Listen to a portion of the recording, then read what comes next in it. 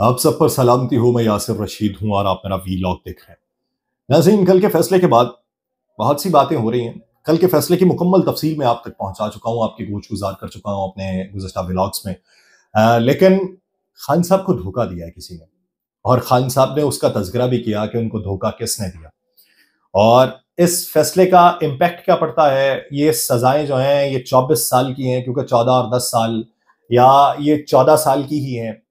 इससे कतः नज़र, छोड़ दीजिए इसको। ये हाई कोर्ट में मामला जाएगा और हाई कोर्ट के अंदर अब इस केस के मेरिट्स के ऊपर बात होती है, या हक जरा को खत्म कर देना, तीन सौ बयालीस के बयान को देखना, या स्टेट डिफेंस वाला मामला, ये सारी चीज़ें एक तरफ़, अभी ये जाएगा उसमें हाई कोर्ट के अंदर तो फिर उसके ऊपर बातचीत होगी। अभी बात यह है कि खान साहब को एक तो धोखा जेल के अंदर मिला है, और दूसरा धोखा जो है, उसके बारे में खबरें हैं। मैं कयास आराइयों पर बात नहीं कर रहा, खबरों के ऊपर बात कर रहा हूँ।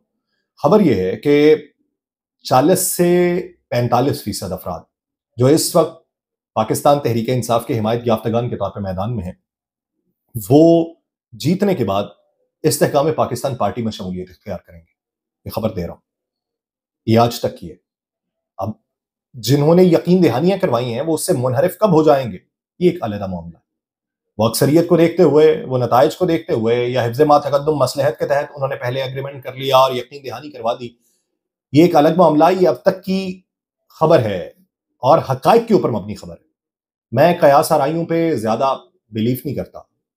खबर जो मिली उसी के मुताबिक बता रहा हूँ कि ये इस्तेकाम पाकिस्तान पार्टी में जाएँगे, क्योंकि इस्तेकाम पाकिस्तान पार्टी जब उसे ये मालूम है कि चंद नशस्तों के ऊपर वो जीतेगी तो वो किस तरीके से ये दावा कर सकती है कि वो पीपल्स पार्टी के साथ मिलकर हुकूमत बनाएगी और विफाक में बैठेगी? ठीक है, उनको यकीन दहानियाँ जो करवाई गई हैं उन यकीन दहानियों के तनाजर में किस हद तक बरसर इकतदार वो आ सकते हैं और किस हद तक वो अपनी तगदो कर सकते हैं, ये बात का मामला लेकिन ये सारी की सारी गेम है पचास फ़ीसद टर्न आउट के ऊपर।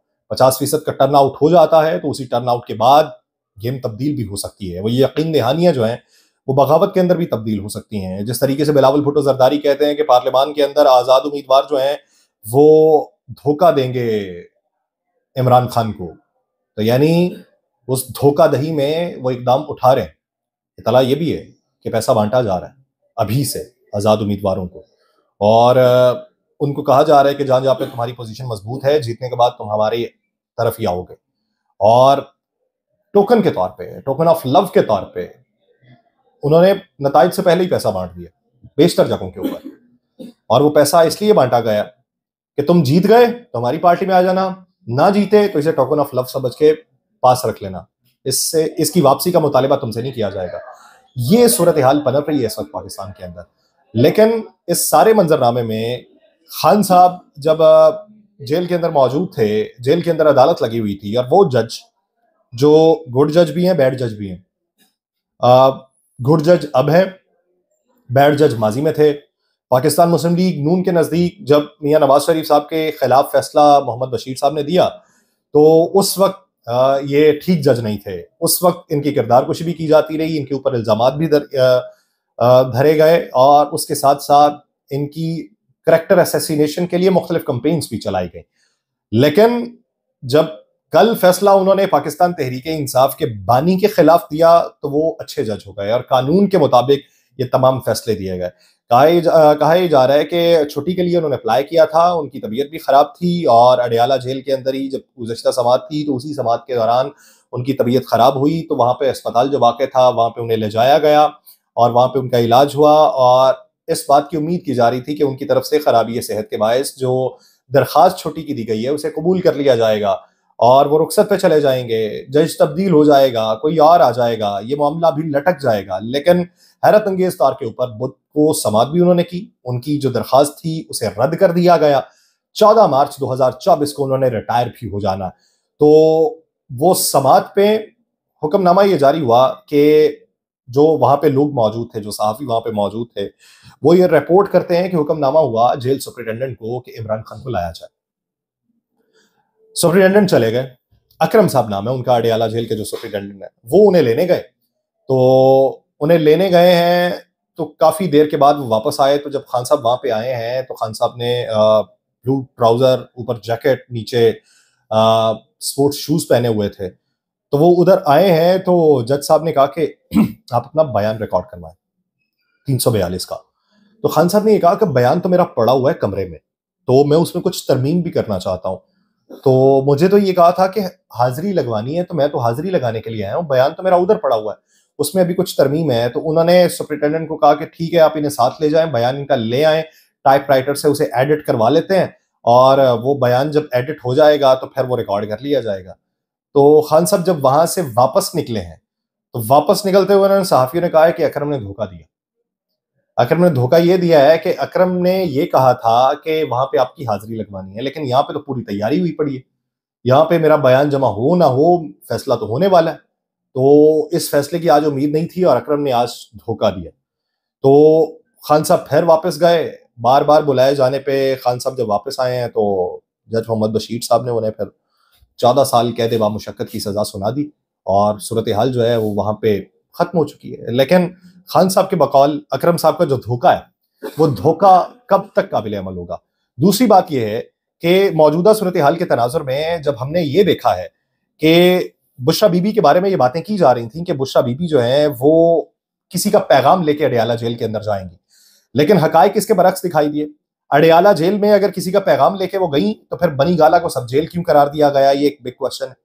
तो अडयाला जेल में जो कॉल मौसू हुई थी थ्रेट अलर्ट मौसू हुआ, मच जेल के बाद अडयाला जेल में उनके ऑफिशियल लैंडलाइन के ऊपर उस कॉल का मौसू होना थ्रेट दिया जाना, जहाँ पे सबक वज़ीर खारजा मौजूद, सबक वज़ीर इतलात मौजूद वो वज़ीर साइंस भी रहे हैं सबक वज़ीर खारजा मौजूद कलदम दहशत गर्द वहाँ पर मौजूद हैं।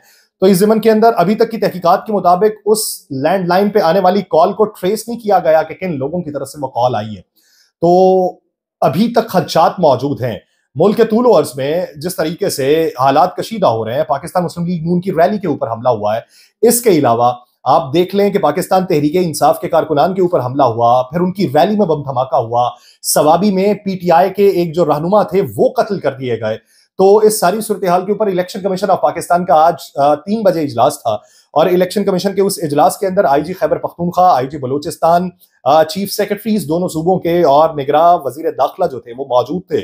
और फिर उनसे ये पूछा गया कि मौजूदा सूरत हाल के तनाजुर में जिस तरीके से सिक्योरिटी क्लियरेंस चाहिए तो आप क्या सिक्योरिटी क्लियरेंस देंगे? तो उन्होंने ये यकीन दहानी करवाई कि इन जगहों के ऊपर सिक्योरिटी को मजीद बढ़ा दिया जाएगा, अमन अमान को कायम रखने के लिए इकदाम उठाए जाएँगे। तो फिर बाहर आकर जो प्रेस कॉन्फ्रेंस हुई, उसके अंदर यह ऐलान किया गया। कि दोनों सूबों के अंदर इंतबात मुलतवी नहीं किए जाएँगे।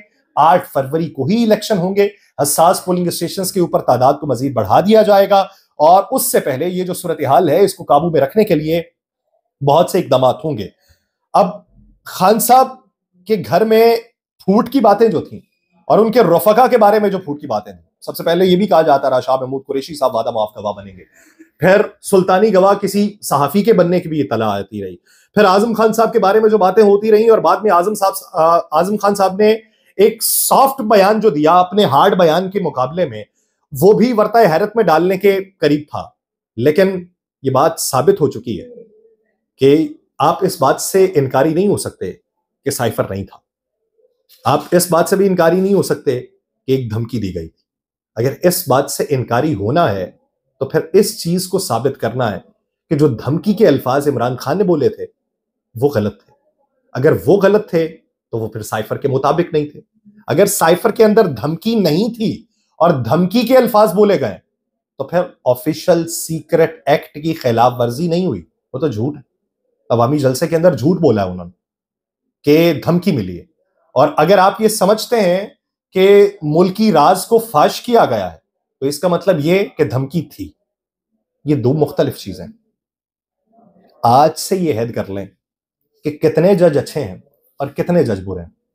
आज से ये फैसला कर लें कि कौन सा सिस्टम ठीक है, कौन सा सिस्टम गलत है। आज से ये फैसला कर लें कि कौन सा फैसला ठीक है, कौन सा फैसला गलत है।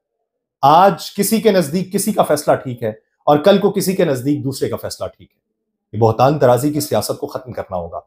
ये यहाँ पे मफादिये मुँह पे मखौटे डाल के मुख्तलिफ़ चेहरों में हमारे सरों के ऊपर मुसलत हो जाते हैं। इनके खेल को खत्म करना होगा।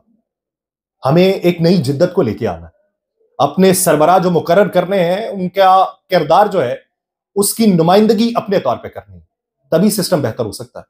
बसूरत है दीगर हमारे सरों के ऊपर ये जो निज़ाम जिसको रफ्ता रफ्ता मुसलत किया गया, और हम इधर पहुँच चुके हैं कि जौक दर जौक उसी की नुमाइंदगी में और उसी की पैरवी में लगे हुए हैं, ये हमें बेहतरी की समत में गामजन नहीं कर सकता।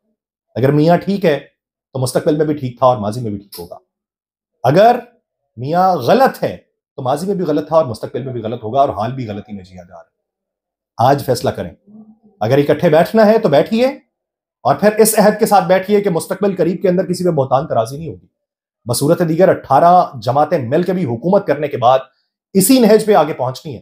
तो पताल की गहराइयों में आप पहले भी थे, चढ़ने की आपने कोशिश की, रोशनी में आने की कोशिश की, लेकिन नहीं आ पाए और आ भी नहीं पाएँगे। मुझे दीजिए इजाज़त। अल्लाह के बाद।